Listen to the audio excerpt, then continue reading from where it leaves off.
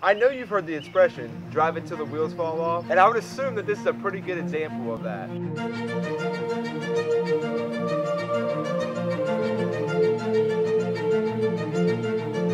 You guys that don't know me, my name's Cody Reed. Every single week I'm giving you guys new car content. The most intriguing part about this vehicle is not that it's a 38 year old drivable truck. It's been a part of my family for a very long time and it holds a really special part to me, so let's get into it. The story of this truck really starts underneath the hood.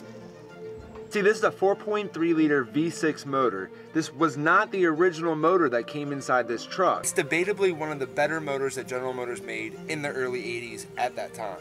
Growing up in the early 80s, I always remember these trucks being around my grandfather's driveway. He really loved the S10 pickup truck and the motor.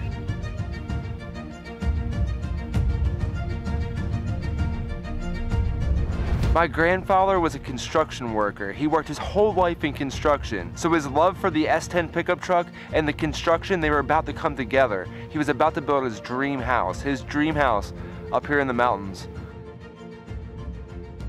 A lot of people doubted him. They said, you're gonna need backhoes, you're gonna need bulldozers, you're gonna need big heavy equipment. There is no way possible you can get S10 pickup trucks up that terrain. It's just not gonna happen. He silenced them. He silenced the haters, man. Every single night after work, he would bring up more supplies, more supplies to build this house. Everything from nails to boards to shower curtains, from the little to the big, he brought up on the bed of that S10 truck. Every single time I come up here, I think about that story. So it's just something that I really wanted to share with you guys today. Typically, we talk about newer cars, but you never really know on this channel. So if you like this content, please consider hitting that subscribe button.